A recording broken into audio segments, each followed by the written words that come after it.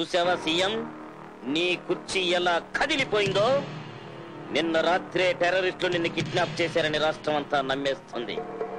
నువ్వున్న ఈ చోటు మూడో కంటోడు కూడా తెలియదు. నువ్వు లేకపోవడంతో అసెంబ్లీలో మెజార్టీ ఉన్న నేను టెంపరీ సీఎం అయి కూర్చుంటాను. నీ కోసం తెగ దుఃఖించేస్తూ నిన్ను రక్షించడానికి ప్రయత్నం చేస్తున్నట్టుగా నాటకాలు ఆడేస్తాను. నాలుగు రోజులాగి ఇదిగో మా వాళ్ళ చేత నేను చంపించేయించి అసెంబ్లీ ముందు పారేయిస్తాను. కాసేపంతా గొల్లు అంటాం ఆ తర్వాత నేను పర్మనెంట్ సీఎం అయిపోతాను. ఎలా ఉంది నా ఎత్తు? బెనర్జీ బాబు నన్ను హీరోగా పెట్టి ఇంత పొడుగు సినిమా ఎప్పుడు తీశారు బాబు? నా తప్పు క్షమించండి. నన్ను మన్నించారు బాబు. నన్ను కాపాడండి బాబు. బాబు! నీ ఎత్తుకి మా పై ఎత్తు ఎలా ఉంది పెంటయ్య? తమ్ముడు ఈ క్షణాన్నే వేణి. మనం తొందరపడితే సీఎం ఎక్కడ దాచాడో మనకు ఆచూకీ తెలియకుండా పోతుంది. ఇప్పుడు ఆయన కాపాడుకోవడం మన బాధ్యత. నీ చెప్పినట్టు వింటే నీకే ప్రమాదం ఉండదు. అంతా నీ ప్లాన్ ప్రకారమే జరుగుతుంది.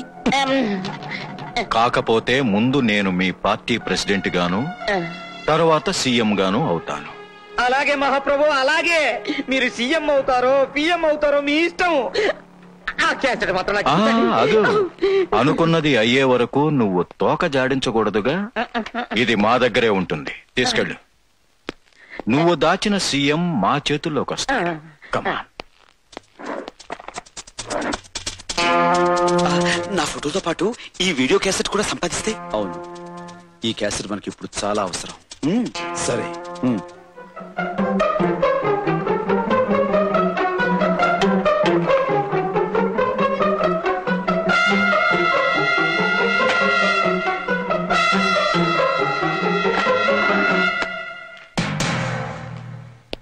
తుమ్మితే ఊడిపోయే ఉసిరికాయలంటే శరీరానికి. ఎందుకీ పదవుల మీద వ్యామోహం? నటరాజా. తమ్ముడు మరేం పర్వాలేదు. అన్నయ్యలు అన్నయ్యలు మనం ఎంత అదృష్టవంతులు. ముగ్గురు అన్నదమ్ములా? మనం ఇక్కడ ఎక్కువసేపు ఉండడం మంచిది కాదు. ఆగు! మా ఇంట్లోకి ఎందుకు దూరారు? మీ ముగ్గురు అన్నదమ్ములా? అబ్బా! ఆగు! అతను నీకు అన్నయ్య. కాదు. నేనే అతని తమ్ముడిని. అబ్బా! ఆగోయ్ డాన్స్ మాస్టర్. ఏమిటా? వాళ్ళిద్దరు నీకు అన్నయ్యలు కదూ? వాళ్ళిద్దరికి ముద్దుల తమ్ముడిని నేనే. అమ్మా! ముగ్గురు ఒకే సైడు ఒకేలాగా ఒకే చేత్తో కొట్టారు. అంటే ముగ్గురు ఒకేలా ఉన్న అన్నదమ్ములన్న మాట. అయ్యో డాడీ! కనిపెట్టేశా.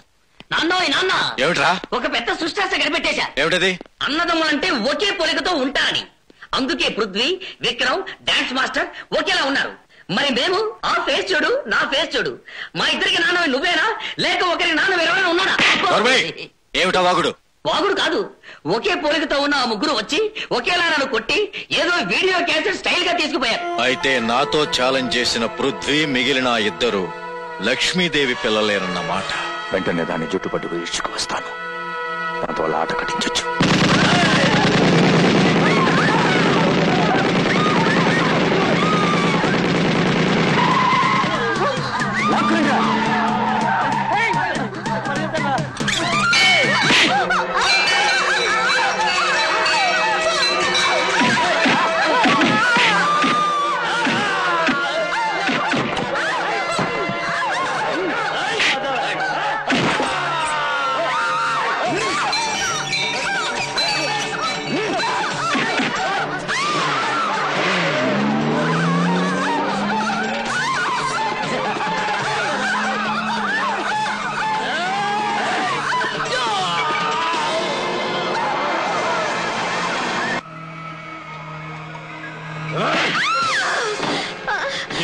బతికే ఉన్నావన్నమాట.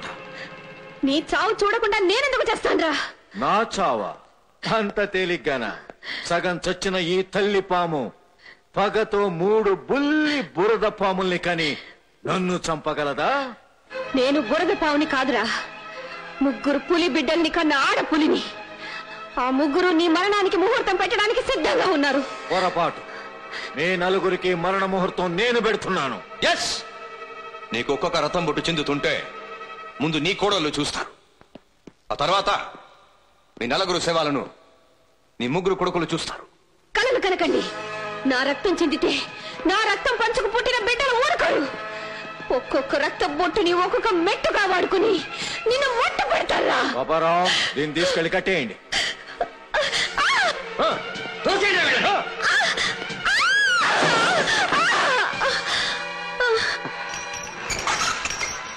ఇదిగో సీఎం నువ్వు రాజీనామా చేస్తున్నట్టు సంతకం పెడతావా లేదా? పెట్టను? ఇంకా చూస్తానండి సినిమా నుంచి బాబు? కానీ చెప్పండి. సంతకం పెడతావా లేదా?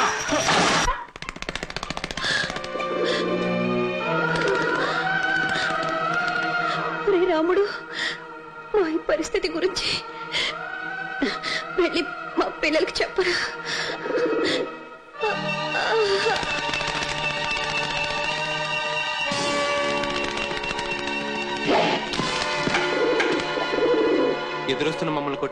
ఆ ఒత్తు నా మీద పడేసిపోయారన్నా.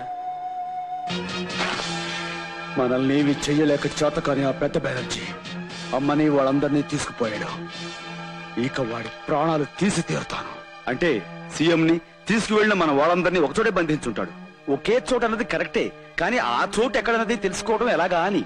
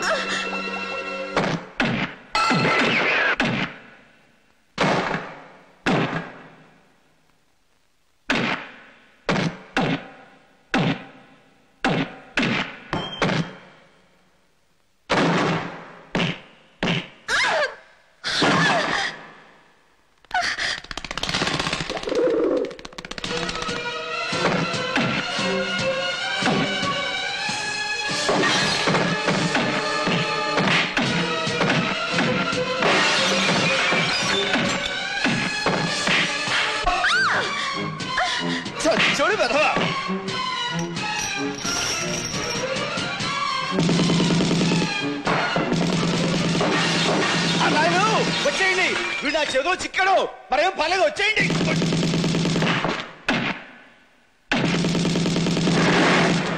ఓ అమ్మ నట రాజా అన్నాలు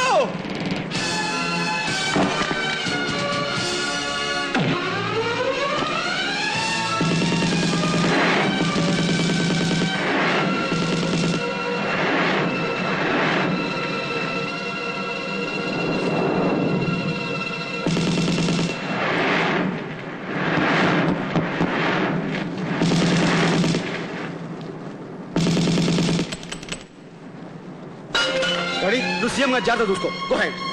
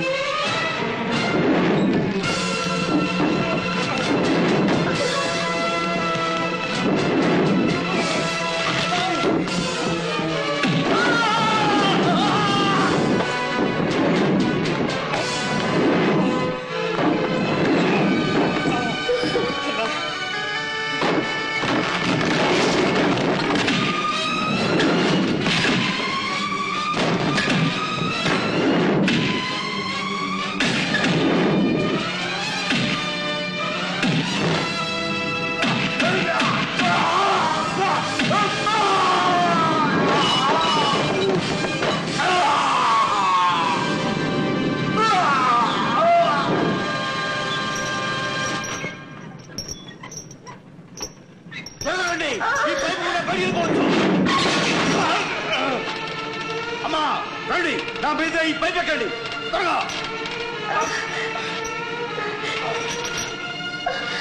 జాగ్రత్త.